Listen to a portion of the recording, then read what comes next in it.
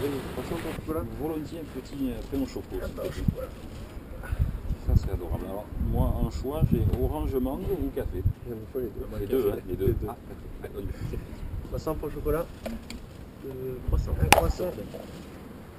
Bon, il paraît que tu nous emmènes euh, plonger près du port. Qu'est-ce Ah qu'il y a à ouais, voir là-bas Aujourd'hui, je vous emmène à, à la plage du Bestouin. Ça alors. Alors c'est marrant parce que les Cassidins ils ne la connaissent pas cette histoire. Il y a un bateau qui a été échoué, qui a été torpillé par les Allemands, Ouais. Qui a été coulé juste en face de l'entrée du port pour empêcher pendant la guerre aux Français de pouvoir euh, manœuvrer leur bateau. Et donc là, en 1960, ça a été rasé et scié par tous les scaphandriers de la région. Et aujourd'hui, il ne reste plus que le fond, Ah en 10 mètres, 12 mètres de fond, de ce bateau, qui s'appelle le président d'Albiaz. T'as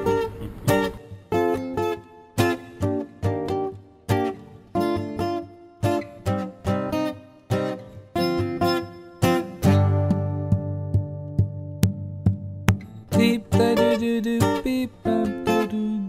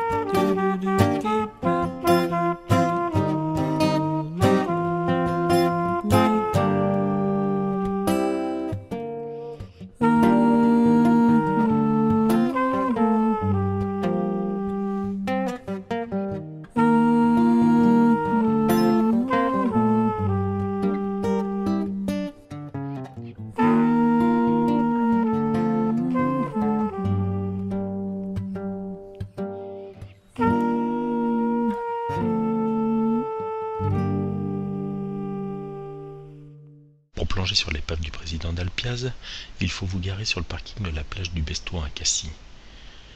Vous rejoignez la mise à l'eau soit par le tunnel, soit par la rue. L'épave se trouve dans la passe entre les bouées bâbord et tribord.